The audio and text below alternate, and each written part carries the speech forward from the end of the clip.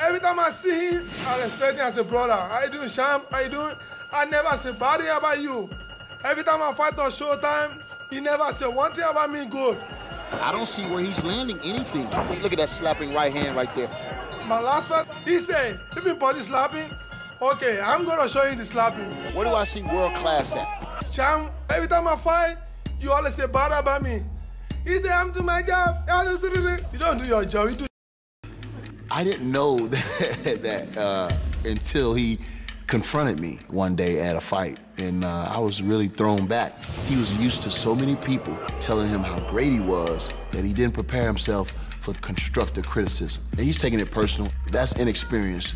He really personal and he really mean to me. I was just being honest. I can't take it no more. I want to put this man down. He wants to put my name on his resume.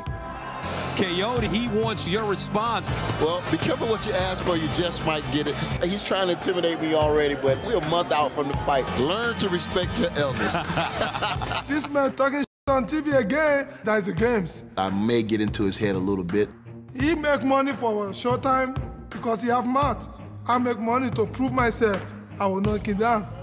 He's a real emotional guy, and I don't know his limitations of what he can take before he blow his fuse. If I beat this man, he's done.